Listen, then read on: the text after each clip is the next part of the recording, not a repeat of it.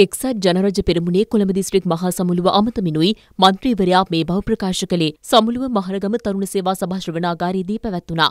සියට වෙනකම් පුංචි කාලයක් ඉතුරු වෙලා තියෙනවා. ඒ පුංචි කාලේ ඉදිරියේ අර කකුලුව දිය හැලියේ නැටුවා වගේ අපේ කට්ටිය නට නට ඉන්නවා මතක තියාගන්න.